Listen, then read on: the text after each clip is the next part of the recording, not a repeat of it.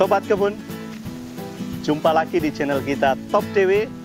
Pada saat ini kita akan berbagi kepada sobat semua di seluruh tanah air dan dunia bagaimana cara pemupukan rutin sawo jumbo dalam pot.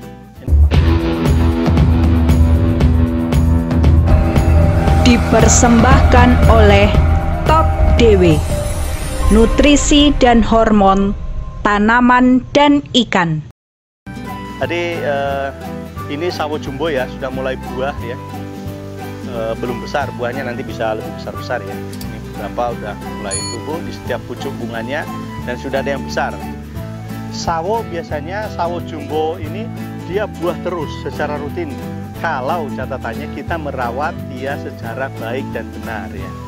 Kita memperhatikan dia secara baik benar, pasti dia akan memberikan buah sawo yang manis bagi kita. Caranya gimana? Saat ini kita akan berbagi kepada sobat semua bagaimana cara supaya sawo tetap buah secara rutin terus menerus dengan buah yang manis, yang besar, enak ya.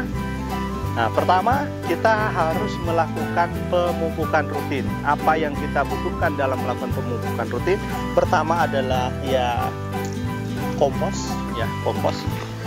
Kenapa harus kita melakukan pengomposan? Karena di dalam media e, sawo jumbo ini dalam pot dia kan terbatas. Dia hanya akar-akarnya itu hanya di sekitar pot ini, nggak nggak keluar. Jadi dia hanya e, di sini. Maka kalau nanti di sini terus tidak diberikan kompos habis karena dia makan terus kan unsur haranya yang dimakan itu adalah unsur haranya yang ada di sini. Kalau itu sudah habis, contohnya kan ketika dia berbuah ini dia kan sudah menyerap banyak unsur hara di sana. Nanti kalau itu sudah dia serap, kalau tidak ganti kita tambahi lagi uh, unsur hara di sana, sawo ini ya gimana kita kalau nggak makan? Ya jadi lemes ya. Kalau di tanaman itu jadi stuck dia jadi kerdil nggak berbuah. Ya jadi ya mogok. Lalu ya yang terakhir adalah pasti oh is dead pasti modar ya pasti mati ya sobat ya jadi jangan bertanya-tanya kenapa sawo e, jumbo saya dalam e, pot polybag mati ya karena nggak diberi pupuk, nggak diberi makan, nggak dirawat. Maka pertama kita rawat, kita beri kompos. Kompos. Berapa ukuran yang dibutuhkan di sini? Cukup 2 sampai 3 ons saja dalam satu uh, uh, apa namanya poli uh, pot ya ini cukup. Ditaruh saja mungkin sekitarnya ya.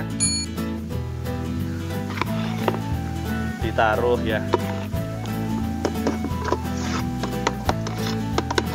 kalau sudah sobat ini kenapa kita ini tinggal di lalu uh, udah ya tinggal disiram aja disiram dengan formula top DW memang top DW ini sobat kita sudah uji coba 10 tahun dan dari hasil percobaan kita kita bisa garansi 99,9% pasti tanamannya bagus pasti akarnya bisa tumbuh batangnya bisa e, berkembang daun bisa tumbuh buah juga dan buah jadi tidak rontok, bisa manis. Itu garansi yang kita berikan.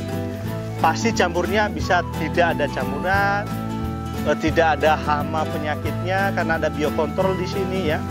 Pokoknya bisa baik dengan eh, kita ini formula kita yang kita buat secara sempurna sobat. Jadi kita mencoba menggabungkan berbagai formula kita mix dengan bantuan mikroba lokal unggul ya. Jadi eh, setelah itu kita apa namanya kita import saja. Kita siram kita siramkan nggak apa-apa sobat. Jadi batang kena akarnya ah, mediannya yang penting ini kena semua. Tidak masalah. Nanti kalau kalau yang sintetis itu kalau kena batang mati. Enggak kalau ini enggak karena ini alami baik ya terus selanjutnya kalau sudah ini kan kalau sobat kebun lihat ini ini pakis sobat kenapa kita taruh ini sebetulnya ini bermanfaat untuk e, memberikan musa. Jadi ketika hujan, e, hujan merciki tanah ini tadi tanah nggak merciki batang, jadi batangnya tetap bersih dari percikan tanah sehingga batangnya tetap bersih. Jadi ini juga musa ya. Musa ini bermanfaat juga untuk melindungi e, tanaman ya dari percikan tanah ini. Jadi kalau sudah dilakukan ini pemupukan rutin dan pemberian formula khusus yang kita buat ini kalau dia berbuah pasti jadi dan pasti juga manis.